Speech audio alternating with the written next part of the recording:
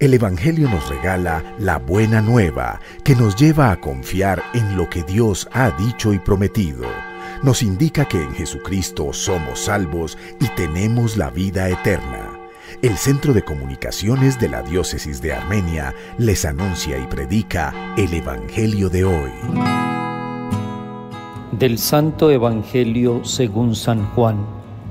En aquel tiempo dijo Jesús a Nicodemo, tienen que nacer de nuevo.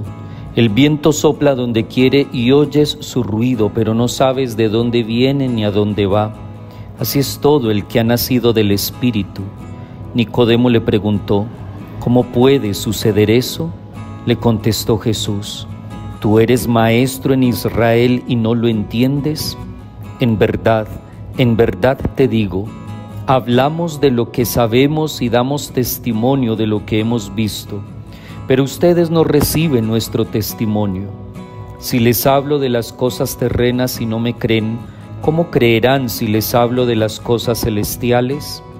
Nadie ha subido al cielo sino el que bajó del cielo, el Hijo del Hombre. Lo mismo que Moisés elevó la serpiente en el desierto, así tiene que ser elevado el Hijo del Hombre, para que todo el que cree en él tenga vida eterna. Palabra del Señor. Gloria a ti, Señor Jesús. Con afirmaciones cada vez más profundas, Jesús va conduciendo a Nicodemo y a nosotros a un conocimiento mejor de lo que significa creer en Él. Un conocimiento que nos transmite el que viene de arriba, el enviado de Dios, el que da testimonio del saber profundo de Dios. Jesús se queja de la poca fe de los sabios de Israel representados por Nicodemo. En realidad, la escena está contada por el evangelista como prototípica. Nicodemo habla en cierto modo como portavoz de los judíos.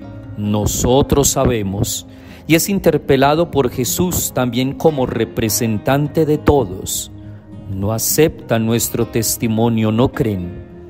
Jesús Alabó un día a su padre diciendo, Has escondido estas cosas a los sabios y las has revelado a los sencillos. Algunos son muy sabios en las cosas del mundo, pero muy ignorantes en lo verdaderamente importante, en lo que vale la pena. Sobre todo, se trata de captar a Cristo en toda la hondura de su misterio pascual, no solo como profeta o taumaturgo, sino como aquel que ha bajado de Dios y después de su muerte en la cruz, sube de nuevo al cielo. Meditemos profundamente este diálogo. Somos personas que prefieren vivir en la oscuridad por no aceptar las consecuencias de aceptar la luz. Nos incluimos en aquel grupo de sabios, de conocedores, de muchas cosas, pero en el fondo estamos lejos de Dios. Esta es una hermosa invitación que nos hace Jesús para renacer y crecer en Él. Un bendecido martes para todos.